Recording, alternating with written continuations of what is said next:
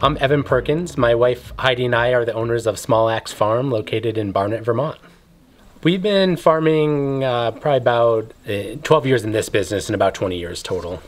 We sell mixed vegetables. Um, we're pretty heavy on greens and quick succession, tur- quick turnover crops. Um, so probably greens are over half of our business, and then the rest is mixed vegetables. We, we grow, you know, most everything, not every year, but um, everything from potatoes, carrots, onions, um, all your basic vegetables, and then all your quick crops like radishes, salad turnips, things like that. We have about an acre of bed space now. Uh, maybe slightly over that. We expanded slightly this spring. We weren't planning to, but because of coronavirus, we expanded a little bit to get some more of those, uh, more of the longer season crops that are less profitable for us, but there was a lot of demand in the community, and so we planted more this year. In terms of sales, we're probably going to be somewhere in the $140,000 um, sales this year, maybe more, probably be more by the end, but it's a guess. We're probably about 80% uh, wholesale, um, and that, but that's direct to retail wholesale, so to stores or restaurants. We don't sell to distributors or anything like that. Um, and then 20% is mixed between our CSA sales and uh, custom orders, people who just every week uh, buy from our online store. Our new farm building here behind me is 25 by 28 and that's kind of two and a half stories and then there's uh, a 24 by 13 one story part of it up until um, really this year had been uh, doing all of our washing and packing outside under overhangs in sheds um, and didn't really have a good space for that. Um, there was just a ton of inefficiency from container storage to uh, you know having things be in a bunch of different places instead of everything together. Um, and we do and it was all outside and we do a lot of shoulder season growing. We always have. So at some point it would come inside of our house um, to wash greens in the shoulder seasons, which was not great for a lot of reasons. Um, so that was one reason for building this building is that we just you know really needed a space where we could have everything together where we could wash pack label store the have cool storage um, so that we weren't spending a lot of our day walking around or looking for stuff um, because it wasn't all in one place and then the other main part of this building is that it's where we grow microgreens, um, which is our winter income. We sell them year round, but they're uh, real, we you know we ramp up production in the winter.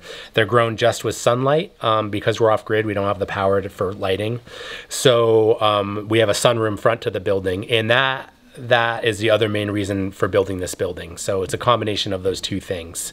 Um, and then also just to be ready for more food safety regulations if they come and when they come.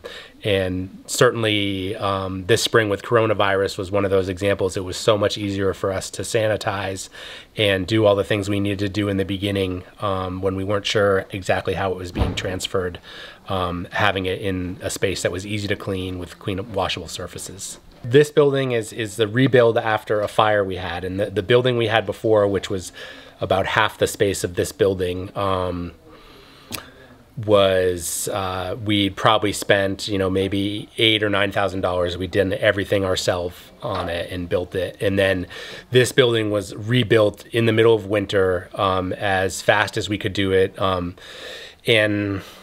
I don't know if there's a firm number yet, but we're probably we're probably nearing a hundred thousand um, dollars because the building's bigger and even though we milled all the wood from our land you know we just uh, had to do everything fast. We had to pay contractors plumbers electricians. Um, that's not something we've ever done. We've always done that stuff ourselves but there was no way for us to do it all at once. So that's probably that's probably where we stand right now. The the layout we have now was planned before our fire and um, at the point of the fire, we had built the main part of the building that was insulated. It was already our wash pack space with a wood shop up above, and we had added on to the back side to, to, to two sides of it with foundations. Actually, right before the fire happened, so we started from that original foot from that footprint, that plan that we had. Um, starting from probably five or six years ago was when that plan was first envisioned, and um, so we had a footprint, and then we, after the fire, we had a chance to kind of um, you know, redesign some things, change some things. And so that planning happened really quickly over a period of like three or four weeks in uh, in in January, um, you know, and we started construction by the third week in January or the second week, really. We'd had some already some time washing and packing in the building, and so we had some stuff that we knew we wanted to change, and um, we're, we were learning all the time. And so we, uh, through um, UVM extension and other resources and visioning other people's wash pack buildings, were able to get some, some ideas. But the footprint didn't really change. And basically, what we really came to is that there were going to be as few walls as we could put it and that we weren't going to build anything permanent in the wash pack area that we were going to put make everything so it was movable and transformable. So basically what we learned in our research was to uh, don't make things permanent, make everything on wheels so it can move, so it's easier to wash, so that if your business model changes in two years, your wash pack building will still work because you haven't done a lot of permanent installation of things. It's, um, it's a lot easier for us to keep track of everything, to have a place for all of our post-harvest bins, to have a place for our harvest bins, to keep them separate, um, to have washable surfaces. Uh, any place that a bin is put down or where, where greens are being packed, we have easily washable surfaces. We have indoor storage for our post-harvest bins um, so that they remain clean once they're clean. Um, and uh, those are the big things for us. And it also just allows us in general to be more organized, to have cleaning products, cleaning materials, um, a wall to actually put hang the protocols on. Um, all of those things. Um, a hand wash sink that's central to everybody who needs it all the time. We designed this building to um, to be a wash pack station for our vegetables and storage for all of our packing materials, uh, uh, a farm shop, and to grow microgreens.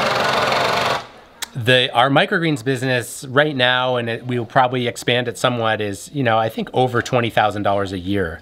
So just that business alone, which is only possible because of this building. Um, is going to pay for a lot of the cost of the building over time. So however you want to look at it, that that makes the building uh, more valuable and more affordable for us over time. You know, if we run that microgreens business for 10 years, then that business alone will have paid for it in profit.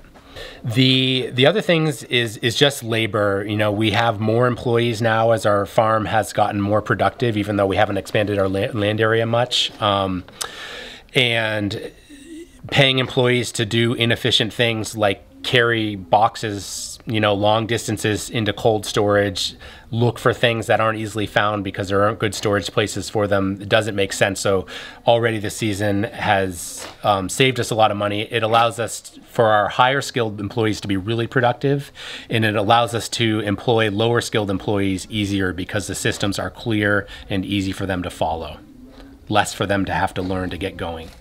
Um, we, we employed um, uh, this summer, which was great, um, my son who's 13 and a bunch of a bunch of teenagers basically to to bag and do simple tasks in here and it was really easy to train them and keep them on track. Um, and also amazing during the pan pandemic when they were kind of housebound for them to have a job something to do a way to be together. Um, and we felt followed pretty strict protocols with with our wash pack building so all the families felt safe with that we started with our initial building five years ago or six years ago, a long time ago, and that was right up against a steep bank. So we, part of that building was a retaining wall, and that four foot retaining wall is now in the middle of the building.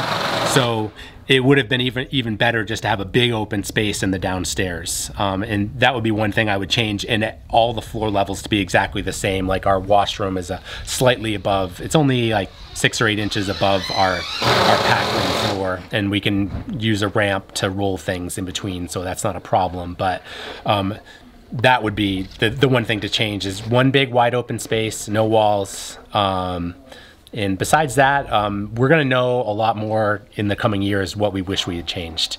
But right now, it seems like uh, a dream to be able to to pro process food in this building. We, we really like the um, the flow, um, kind of how the produce comes in, um, and then it, it flowing into the pack area. Our, pack table were really is really great. It, it uh, it's very compact, holds all the labels, and we can have four people packing at once in a really small area. So that's one of our favorite areas actually. Um, and then in general, the growing the microgreens um, has been really easy in here. We've been able to control humidity, airflow, temperature. Growing microgreens in the middle of the summer, people often do it in greenhouses, is a real challenge, both with squirrels, chipmunks, that kind of thing, as well as just getting even growth. In this in this building, we can have even growth all year long. Um, and so that's worked out really well, better than we expected, with very low power inputs.